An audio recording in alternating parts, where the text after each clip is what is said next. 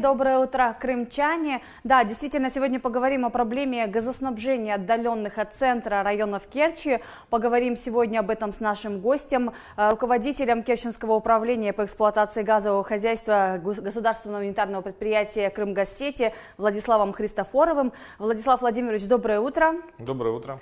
А, Владислав Владимирович, давайте сначала поговорим в первую очередь о проблеме газоснабжения поселка Героевское. Это поселок курортный на 300 домовладений, там много пансионатов, долгое время уже а, жители ждут, э, когда к ним придет э, газ. Расскажите, вот какие подвижки есть э, в решении этого вопроса, есть ли они вообще? Действительно, подвижки есть, и подвижки очень серьезные. На сегодняшний день уже определен заказчик, который в ближайшие дни приступит к строительству подводящего газопровода к поселку Героевского.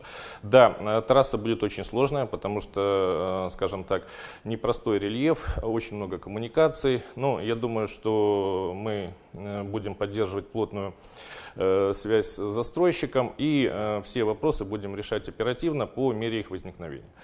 Э, помимо этого, значит, на сегодняшний день происходит сбор предварительных данных для изготовления проектно-изыскательской документации непосредственно по распределительным сетям самого поселка Героевска.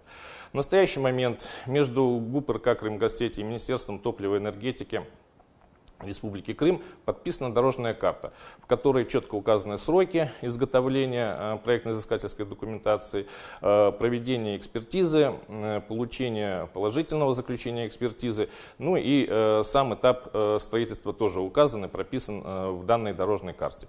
Поэтому это все уже, скажем так, принимает э, законченную форму. Э, это все начинает уже переходить от слов к действиям. И я думаю, что в ближайшее время строительные работы начнутся.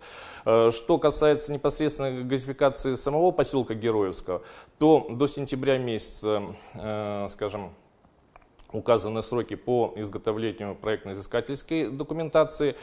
И э, после сентября уже непосредственно начнутся работы по монтажу э, газовых сетей э, в самом поселке и подключение э, домовладений и э, это самое, э, других предприятий э, которые там расположены. Которые там расположены, да, к сетям газоснабжения.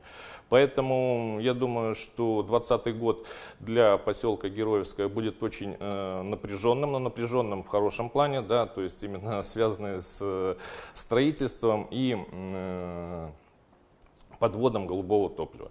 Поэтому я думаю, что к концу года даст, э, ну, если все у нас, а я на это очень сильно надеюсь, получится, то в поселок Героевское зайдет газ.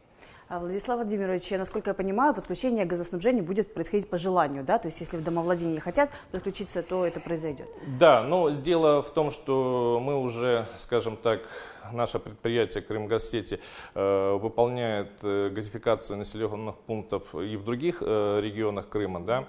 Э, уже, э, скажем так, есть определенный опыт, поэтому принято решение, что при строительстве распределительных сетей мы будем э, проектировать и вода непосредственно к жилым домам и к предприятиям. Вот. Ну а потом уже, конечно, собственник сам определяет, какие газовые приборы он хочет установить, что у него должно быть установлено, и, скажем так, заказывает проектную документацию, согласовывает и выполняем монтаж. Спасибо большое за информацию, Владислав Владимирович. Я надеюсь, что все запланированное сбудется. А мы будем следить за развитием ситуации, непременно расскажем об этом в своих информационных сюжетах. Коллеги, я передаю вам слово.